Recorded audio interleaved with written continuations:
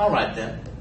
Uh, let's go ahead and uh, try playing with a few sequences and see if we can get our inductive reasoning juices flowing. So uh, here we go. Ready, two, four, six, eight, ten, twelve, da, da, and da. What do you think about that? Okay, well, what can, what can you see? Well, you see, two, four, now that sounds so familiar. Uh, well, you're going up by two there. Oh, you're going up by two there, and you're going up by two there. Oh, great. It's adding two every time. So if I notice the rule, okay, here's the rule that I can uh, suggest for this, you know, adding two each time, okay, uh, then uh, I'm going to have uh, 14 and 16 and 18. Well, that works. That's nice.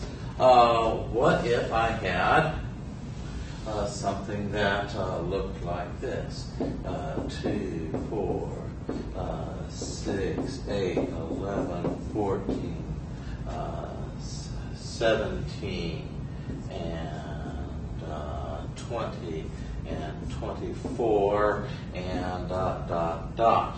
Okay, well, you say, hmm, well, let's see what happens here. Well, here's a 2. That's uh, how much that's gone up. And there's two more. And there's 2. And, oh, oh, that's 3. And that's 3. And that's 3. And that's 3. There's four threes. Hmm. Uh, and that's 4. And you might not be nearly so certain at this point as to what's going to happen here. Now, you would probably think that from the looks of this, since you had gone from adding twos to adding threes, and then here's a point of adding fours, that you would probably be safe in adding fours. Okay, but you can see how uh, you might not be nearly so uh, certain as to this sequence.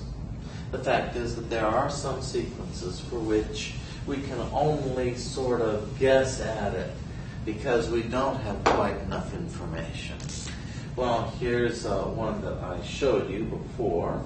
Uh, one, one, two, three, uh, five, eight, thirteen, and we'll take a look at the next two. Uh, this is, uh, by the way, called the Fibonacci sequence. And uh, the Fibonacci sequence was invented by a man in the early 1200s, and uh, a man from Florence uh, named Fibonacci, and uh, he was investigating how many rabbits you would have after a certain number of months. Came up with this lovely sequence, uh, theoretical sequence. Well, let's see. Hmm. Well, this goes, this doesn't go up any. This goes up by one, and this goes up by one, and this goes up by two, and this goes up by three, goes up by five. Uh oh, looks like, you know, one, one, two, three, five. Looks like that sequence is just going to repeat itself. Hmm. So, if I take a look though, one plus one is, yeah, that's right, two, and one plus two is 3, and 2 plus 3 is 5, and 3 plus 5 is 8, and 5 plus 8 is 13. That I think, if I, even if I don't put that up there, that you'd be able to uh, figure out the remaining part of, of that. Well, uh, let's see here. How about another one? Uh, oh, let's see.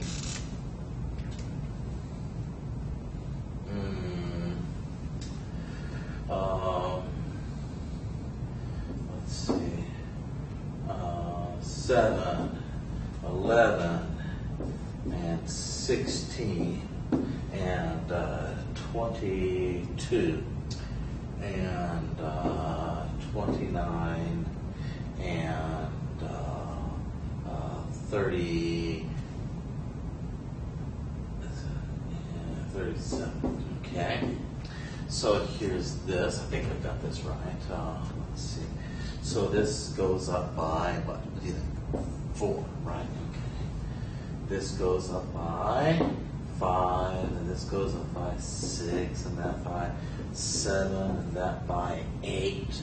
Oh, then what conclusion can we draw now uh, from uh, this kind of a sequence? Well, this goes up possibly by nine, and this then by 10. So this one should be a, uh, what, 46, and this should be a 56.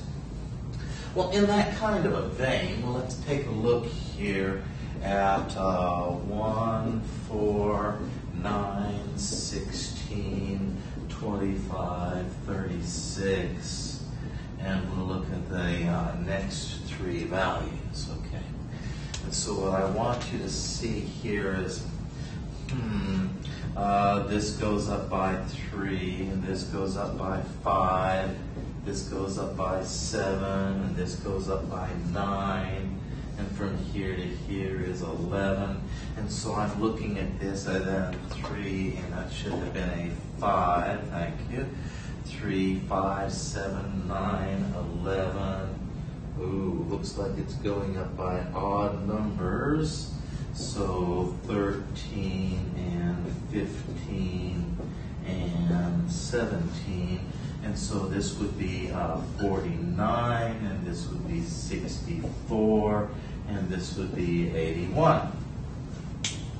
Well, that's uh, very, very nice. Uh, but it turns out there is another way to look at this. And if you look at it uh, this way, well, this is 1 squared, and this is 2 squared, and this is 3 squared, and this is 4 squared, and this is 5 squared, and this is 6 squared, 7 squared, 8 squared, and 9 squared.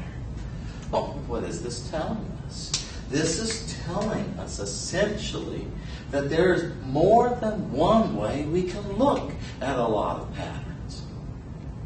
Just because you saw it one way and I saw it another doesn't make you wrong nor does it necessarily make me wrong. The fact is that we can both come up with the same answer very often by more than one way of representing the problem. Remember, we were talking about multiple means of representation. So you can see these, this sequence here uh, has uh, a, you know, a way of figuring it out this way and a way of seeing it uh, this way. A lot of it is going to be dependent upon our expectations. How do you expect, what do you expect things to do, or what do you expect things to be? Um,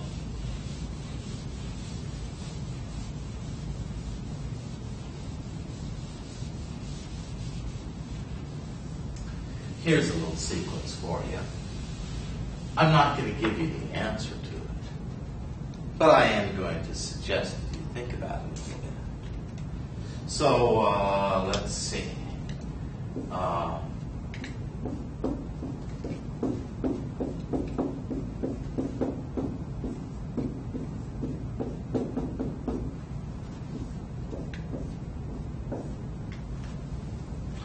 but I'll tell you what, I will give you a little hint.